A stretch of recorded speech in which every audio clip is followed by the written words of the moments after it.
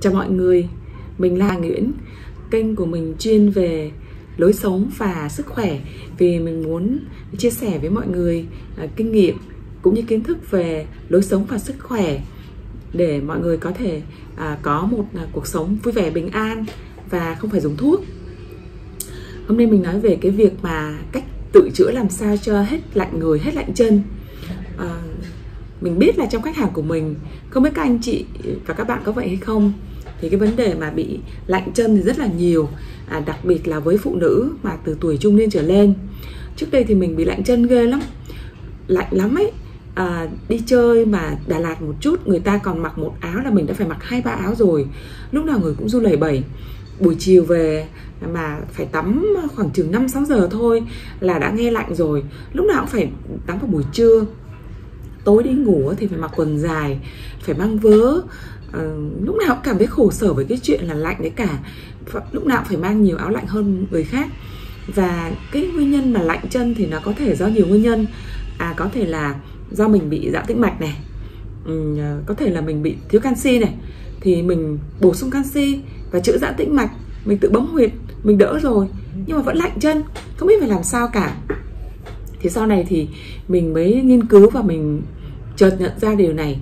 Thứ nhất là vì khi bắt đầu vào tuổi trung niên thì mình dễ mập và mình có xu hướng là ăn kiêng đường kiêng tinh bột à, thậm chí lại còn kiêng cả chất béo nữa.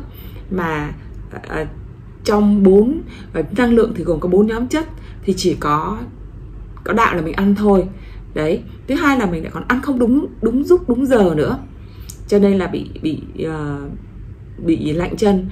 Và cái việc mà ăn kiêng như thế thì không phải là sai nhưng mà mình chỉ ăn kiêng một hai tháng thì được. Nhưng thực sự thì mình thích đẹp mà cho nên là ăn kiêng rất là lâu kéo dài lâu thì nó liên quan đến cái chuyện là bị thiếu năng lượng. À và lại ăn đúng sai sai giờ nữa. Thế sau đó thì mình mới uh, tìm ra một cái cách rất là đơn giản mà cái cách đấy giúp cho mình hoàn toàn hoàn toàn hết à, bị lạnh chân tối đi ngủ không mang vớ không cần phải lúc nào cũng quần quần áo áo cũng phải khổ sở với cái chuyện lúc nào cũng cảm thấy như người uh, sắp hết hơi à, không còn uh, không còn cái tí mà uh, nóng ấm áp gì bên trong nữa cả. Thì nguyên nhân là à, là như nãy nói với các anh chị đó như vậy thì mình phải bổ sung như thế nào? Thì mình bằng cách là buổi sáng trước khi mình tập thể dục á mình uống một ly nước đường.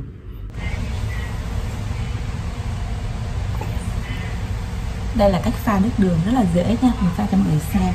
Đầu tiên mình lấy nước này. Lấy nước từ máy lọc nước.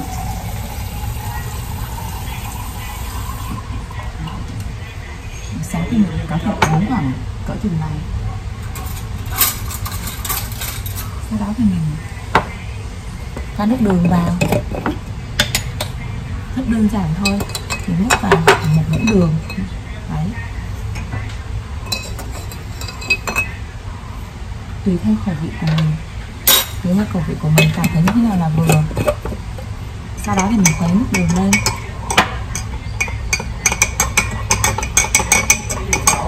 Khi mình khuấy đến mức mà đường tan đi thì mình uống đó là mình phải uống trước khi tập thể dục buổi sáng và khi mình tập á, máu huyết lưu thông và nước đường sẽ thấm qua bao tử và đi về các cơ quan được ngay nội tạng nhất là bao tử này tỳ vị các cơ quan để làm việc và nó sẽ đưa năng lượng về các cơ quan ngay giúp cho lên và đủ năng lượng liền.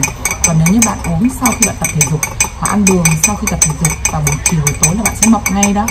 Nước đường và đường chỉ dùng buổi sáng trước khi tập thể dục thôi. Còn ăn sáng thì ăn trái cây ngọt và ăn thêm về đồ ngọt vào buổi sáng là được. Chúng ta sẽ có một ly đây này. Một ly nước đường.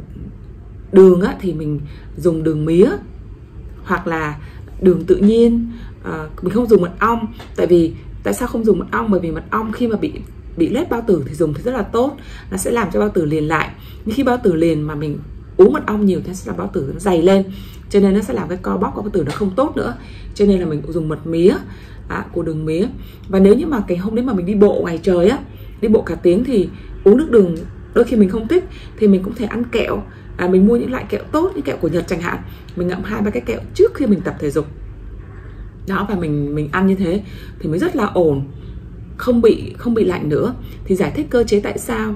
Tức là buổi thả buổi sáng á, là à, cái phải ăn ngọt. Đó là cái giờ của tỳ vị tỳ vị liên quan đến bao tử. Đó cho nên là phải ăn ngọt vào buổi sáng. Và khi mà mình ăn ngọt trước khi mình tập thể dục á thì cái năng lượng đấy nó sẽ đi vào đi qua bao tử và đi vào tất cả các cơ quan.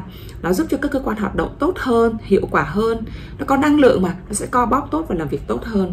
Chính vì vậy mà nó sẽ đủ năng lượng để mà mà mà mà mình khỏe người và mình ấm áp lên. Không phải tự nhiên mà tại sao người pháp á, buổi sáng họ ăn đồ ngọt. Và khi mà mình nghiên cứu rất là nhiều người thầy về về dinh dưỡng về đông y họ cũng đều muốn nói buổi sáng là ăn đồ ngọt ăn trái cây ngọt. Sau đó thì buổi trưa mình uh, dùng tinh bột và đạm và tinh bột ít thôi nha. Tinh bột ăn nhiều cũng rất là không tốt. Và buổi tối thì mình bổ sung chất béo tại vì chất béo thì nó sẽ tốt cho não. Và ưu tiên là chất béo từ thực vật. Thì hồi trước á là mình dùng cái uh, khi mình ăn kiêng như thế ăn ít đường và tinh bột trong một thời gian dài thì mình có hiện tượng là mình rất hay đói và hay thèm ăn vặt buổi trưa ngủ dậy là phải ăn một cái gì đó. Thì tất nhiên mình vẫn ăn lành mạnh. À, mình sẽ ăn trái cây ăn dạ ua à, chứ không ăn lung tung không ăn đồ có chất bảo quản. Nhưng mà sau này khi mà mình ăn uống đúng như vậy buổi sáng là uống nước đường trước khi tập thể dục. Sau đó buổi trưa là ăn một chút xíu tinh bột và ăn đạm. Tất nhiên là vẫn có trái cây và rau củ quả là bình thường ha rất là nhiều. Và buổi tối là ăn về về về, về chất béo tức là bốn nhóm năng lượng sẽ phân chia như vậy thì mình hoàn toàn không có nhu cầu ăn vặt nữa. Coi như là buổi trưa ăn xong là ổn luôn tới tối. Và rất là nhiều trường phái ăn kiêng và dinh dưỡng, họ cũng khuyên là chúng ta không nên ăn vặt. Người pháp là một ngày chỉ ăn đúng 3 bữa, không ăn vặt. Và lúc đó thì mình thấy là cái việc mà giữ cân, giảm cân nó cực kỳ dễ, cực kỳ dễ. Không phải chỉ là cho hết bị lạnh người nữa mà lại còn uh, còn tốt về cái vấn đề đó nữa. Và một cái nữa là lúc đầu mình cũng không tin. Đó thì mình uh, mình mua mình mua cái máy mà đo đường. À, trước khi mình tập thể dục mình đo đường. Và sau khi mình tập thể dục mà mình uống đường rồi đó mình tập thể dục mình mình sau mình đo đường thì đường vẫn xuống. Chứng tỏ là cơ thể chúng ta rất cần đường và nó vẫn thiếu.